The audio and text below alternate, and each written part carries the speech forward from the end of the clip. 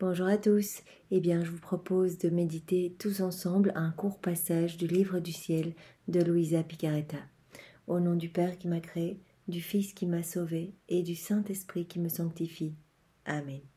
Jésus, je me plonge en toi, dans ta divine volonté, et je te demande de venir tout faire en moi tout au long de ma vie, tout au long de cette journée et dans cet instant. Je veux vraiment être complètement uni à toi, consumé en toi. Je veux être identifié à toi, Jésus, et je veux que ce soit toi-même qui vienne méditer ce passage que tu nous donnes à travers mon esprit, à travers mon intelligence, à travers mon âme, à travers ma bouche. Viens Jésus, prends toute la place dans mon existence, retire de mon cœur tout ce qui ne t'appartient pas, tout ce qui est laid, tout ce qui résulte de ma volonté propre. Retire tout, Seigneur, et crée l'espace suffisant et nécessaire pour que tu puisses eh bien t'y installer dans mon cœur et que tu puisses eh bien tout faire à partir de mon humanité. Je veux être un instrument d'amour, de paix et de miséricorde entre tes mains, et je voudrais que mon âme puisse être un tabernacle d'amour et de consolation pour toi, Jésus, que tu puisses y trouver éternellement tes délices. Donne-moi cette grâce, Jésus, que je te demande avec euh, constance et insistance tous les jours. Eh bien, donne-moi cette grâce de la vie dans ta divine volonté et donne-la à toutes les personnes, eh bien, qui, euh, qui voudraient, qui voudraient te faire plaisir, Jésus, qui ne comprennent peut-être pas encore bien ce qu'est la divine volonté. C'est tellement vaste, Seigneur, et nous sommes faibles, nous sommes humains. Alors, Seigneur, regarde uniquement nos intentions d'amour pour toi et transforme-nous en profondeur. Utilise vraiment chacune de nos vies pour, euh, pour l'avènement de ton royaume et pour vraiment que, que nous te rendions gloire, Jésus. Maintenant, viens parler à travers ma bouche et envoie-moi ton Esprit Saint. Alors nous allons continuer. Nous avons le passage du 6 juin 1915. Alors Louisa été de nouveau dans son, dans son coma, une sorte d'état euh, voilà, où, où, elle voit Jésus, où elle euh, parle à Marie, aux anges, etc. Pendant que j'étais dans mon état habituel, mon toujours aimable Jésus, tout en restant caché, euh, veut que je le supplie continuellement pour mes frères. Donc Jésus demande à Louisa eh bien qu'elle continue son travail d'âme réparatrice et qu'elle répare au nom de tous, qu'elle demande pardon au nom de tous, qu'elle aime Jésus au nom de tous, vraiment qu'elle console le cœur outragé de Jésus au nom de toutes les générations, de tous les temps. Aussi, pendant que je priais et que je pleurais pour le salut des pauvres militants, et voulant adhérer à Jésus de manière qu'aucun ne soit perdu, j'en vins à dire des non-sens. Bien que silencieux, Jésus semblait content de mes instances et prêt à m'accorder ce que je voulais. Donc vous voyez à quel point eh bien Louisa nous montre que Jésus est heureux lorsque nous nous intercédons. Nous l'avons vu dans un autre passage il y a quelques jours, et bien qu'une âme qui se plonge dans la divine volonté de Jésus peut intercéder au nom de tous, peut apporter de l'amour, de la joie, du pardon, et bien au nom de tous les hommes qui n'aiment pas Jésus, qui lui tournent le dos. Et Jésus est content, Louisa le dit ici, Jésus semblait content de mes instances et il semblait prêt à m'accorder ce que je voulais. Donc vraiment, le bras de la justice divine est, vraiment retenu par les prières faites par les âmes qui vivent dans la divine volonté. La justice est vraiment apaisée et, euh, Jésus est tellement lié aux âmes qui vivent dans la divine volonté parce que c'est lui-même qui agit à travers euh, eh bien, toutes ces âmes qui s'offrent, eh bien qu'il est tellement content qu'il est prêt à accorder euh, n'importe quoi. Il me vint à l'esprit que je devais aussi penser à mon propre salut. Jésus me dit, Ma fille, pendant que tu pensais à toi-même, tu produisais en moi une sensation humaine, et ma volonté, qui n'est que divine, l'a remarqué. Voyez Jésus qui, euh, qui vient vivre en chacun de nous lorsque nous nous abandonnons à lui, eh bien ne veut pas que nous pensions à nous-mêmes, parce que cela est profondément humain et que ce n'est pas possible, ça ne peut pas rentrer dans sa divine volonté. Sa divine volonté est, donc euh, uniquement tournée vers l'amour, vers les autres. C'est vraiment euh, eh l'amour même de Jésus. Et donc il, le dit, eh bien moi je le sens tout de suite quand, quand vous commencez à vous recentrer sur vous-même. Je suis forcée à ce moment-là de me retirer. Dans ma volonté, tout tourne autour de l'amour pour moi et pour les autres. On n'y trouve pas de choses personnelles. Donc vraiment, dans la divine volonté, le Seigneur nous demande de penser d'abord et avant tout euh, vraiment à le glorifier, à glorifier son Père, glorifier le Saint-Esprit. Vraiment, c'est cela, toutes les actions de réparation, c'est apporter toute la gloire qui est due à la Trinité Sainte et qui n'a pas été donnée par les hommes. Ce pourquoi nous avions été appelés, créés, c'est-à-dire, euh, eh bien, adorer, euh, être dans des actions de louange et d'adoration continuelle, remercier, etc. Eh bien, tout cela n'a pu être donné puisque nous nous sommes écartés de ce plan divin en voulant faire notre volonté propre.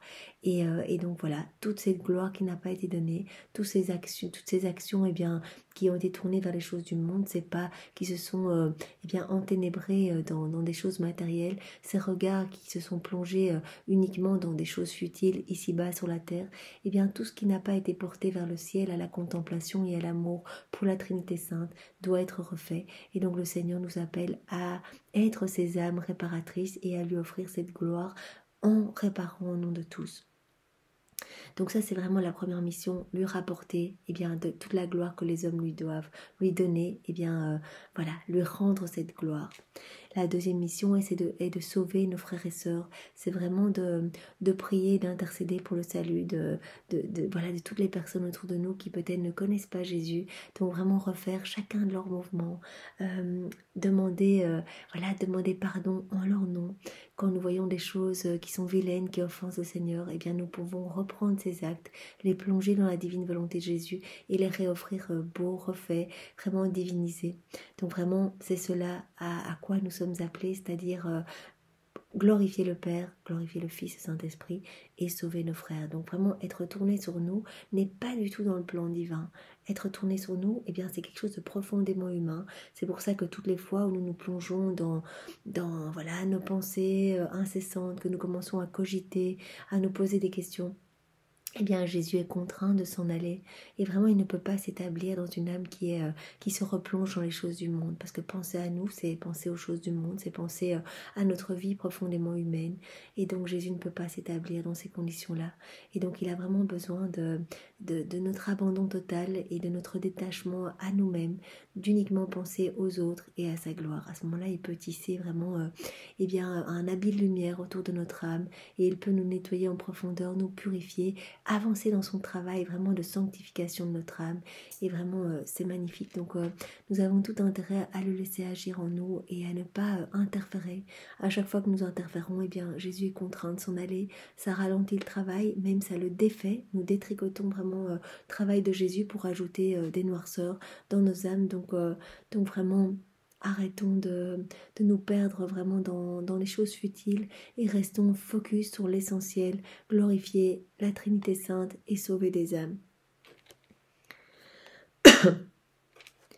Donc voilà, Jésus dit, dans ma volonté, tout tourne autour de l'amour pour moi et pour les autres. On n'y trouve pas de choses personnelles, car l'âme qui contient ma volonté contient tous les biens possibles pour elle. Et si elle les contient tous, pourquoi me les demander? Nous avions vu dans un autre passage, rappelez-vous, que Jésus disait que voilà, le signe qu'une âme euh, était vraiment immergée dans la divine volonté, c'est qu'elle avait euh, eh bien, euh, le souci des autres tout le temps. Elle n'allait jamais penser à elle-même, mais qu'elle avait vraiment envie de donner, tout le temps de donner, de faire connaître, de donner et euh, parce qu'elle a tout reçu, donc son âme est comme en plénitude, qu'on vit dans la divine volonté, et eh bien Jésus vient s'installer complètement dans notre cœur. Avec le Père, le Saint-Esprit, il vient avec tous ses bienfaits, il vient avec tout son royaume, avec toutes ses bénédictions, ses grâces, euh, tous ses actes, donc on peut se servir complètement tout nous appartient, nous devenons vraiment les cohéritiers du royaume, les propriétaires du royaume. On reprend cette place de fils et de fille de Dieu. Et donc à ce moment-là, il n'y a aucun manque, puisque notre âme est vraiment dans la plénitude totale. Pourquoi on irait demander euh, des choses, cogiter sur des choses qui nous manquent, ressentir des manquements, alors que le Seigneur vient avec tout et dit voilà, moi je m'occupe de tout, vous n'avez qu'à penser euh, eh bien qu'aux autres et à me glorifier, à me remercier. Ne, serait-il pas plus correct qu'elle s'occupe plutôt de prier pour ceux qui n'ont pas tous ces avantages? Jésus nous parle vraiment d'avantages. Il vient vraiment avec tous ses attributs et, euh, il nous offre la sanctification, il nous offre vraiment le salut de notre âme, il nous offre eh bien sa divinité. En fait, il nous donne il vient euh, eh bien reteinter toutes nos actions de sa divinité. Donc c'est incroyable, nos petites actions deviennent divines et éternelles et toute notre âme eh bien est remplie de la présence de la Trinité. Donc vraiment, il n'y a pas de quoi euh, redemander encore d'autres choses.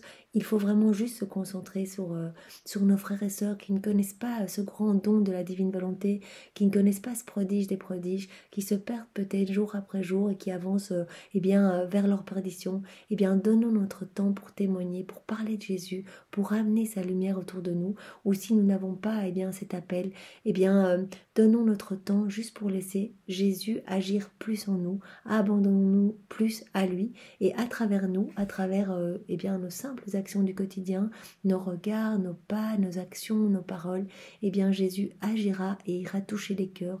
Il y aura des cœurs qui vont être convertis, des conversions euh, vraiment euh, profondes, des nettoyages, des âmes du purgatoire qui vont être sauvées. Donc laissons la lumière de Jésus agir en nous. C'est vraiment incroyable, mais je lisais encore euh, hier soir dans le tome 17.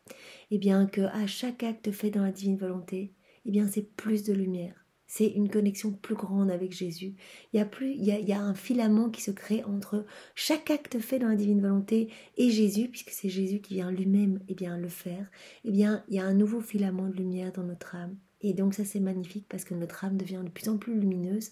Et à travers tout ce que nous sommes, notre humanité, eh bien cette lumière rejaillit sur toutes les personnes autour de nous. Et ça va même plus loin puisqu'on agit vraiment, euh, que c'est Jésus qui agit en nous, qu'on s'abandonne euh, dans les bras de Jésus, eh bien ça va toucher toutes les générations de tous les temps, vraiment passées, présentes et futures et donc euh, nous devenons vraiment juste par un simple abandon, un oui et une constance dans notre demande. Vraiment, euh, Jésus a besoin de, de, cette constance. Vraiment, euh, Jésus, nous voulons vivre dans ta divine volonté et lui demander tous les jours vraiment pour s'assurer que, que voilà, que l'homme ne va pas le décevoir, que, que nous n'allons pas dire oui un jour, le lendemain non et l'abandonner à nouveau. Donc il veut vraiment voir que c'est l'intention véritable de notre âme à ce moment-là, il donne, il donne, et nous devenons eh bien, des missionnaires, vraiment les plus grands missionnaires qui soient, puisque, puisque nos prières vont toucher euh, eh bien, toute l'humanité entière. Donc merci Seigneur pour cette parole euh, d'amour que tu nous donnes encore ce matin. Et, euh, et, vraiment nous te louons, nous te bénissons, nous t'adorons au nom de tous dans ta divine volonté, avec ton amour, tes bénédictions, tes louanges, tes adorations, et nous te remercions avec tes propres remerciements. Au nom du Père et du Fils et du Saint-Esprit. Amen. Eh bien, soyez tous bénis, passez une belle journée. Au revoir.